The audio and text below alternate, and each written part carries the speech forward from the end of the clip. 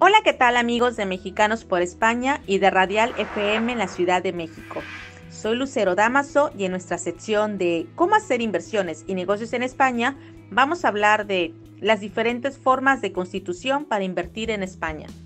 Los mexicanos y extranjeros que han decidido hacer negocios en España deben tomar en cuenta las principales alternativas existentes a disposición del inversor extranjero para establecerse en España así como los principales pasos, los costos y las obligaciones legales para su realización.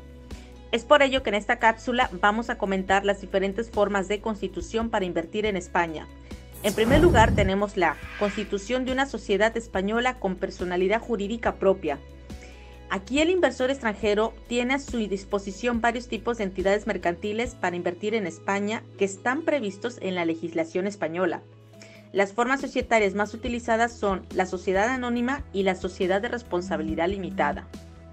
Otra forma de constituir un negocio en España es ser emprendedor de responsabilidad limitada.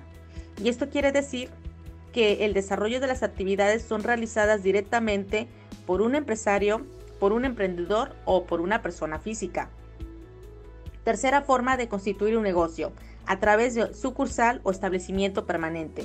Este tipo de empresas carecen de personalidad jurídica propia, por lo que su actividad y su responsabilidad jurídica siempre irán directamente vinculadas a la sociedad matriz del inversor extranjero, siendo meramente estas oficinas o filiales de la casa matriz.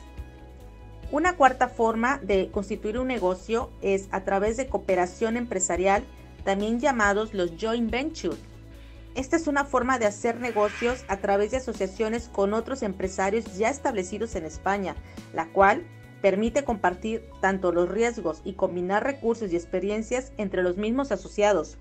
Además de que en el ordenamiento español se pueden distinguir diferentes formas de este tipo de joint ventures o cooperación empresarial, que estos son cuando existe unión temporal de empresas, cuando hay agrupación de intereses económicos o una agrupación regional, como puede ser la agrupación europea de interés económico, la celebración con uno o más empresarios españoles de una forma de colaboración propia.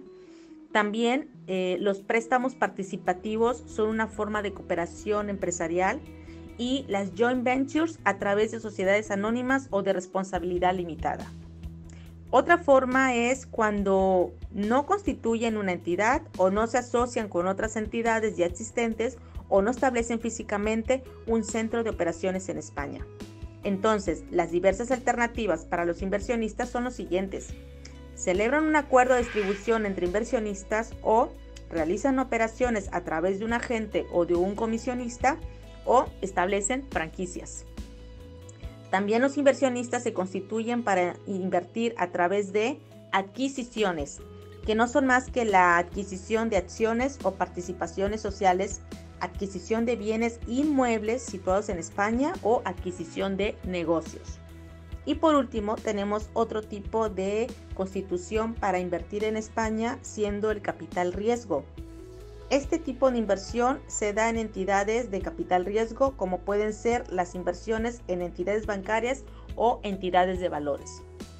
Como podemos observar, cada una de estas alternativas comerciales ofrece diversas ventajas que deben ser analizadas tanto desde el punto de vista legal como fiscal, siempre apoyándose de un experto y asesores profesionales en este campo de trabajo. Espero que esta cápsula les sea de mucha utilidad para sus ideas de negocios y empresas y así podamos ir aprendiendo cada semana el cómo hacer inversiones y negocios en España. Por lo que te invito a escucharme a través de Mexicanos por España y si quieres saber más, sígueme en mi página web www.hableconvence.com y en mis redes sociales. Soy Lucero Damaso y desde Galicia les saludamos y como siempre deseándoles un excelente domingo. Así que nos vemos y en gallego, vémonos.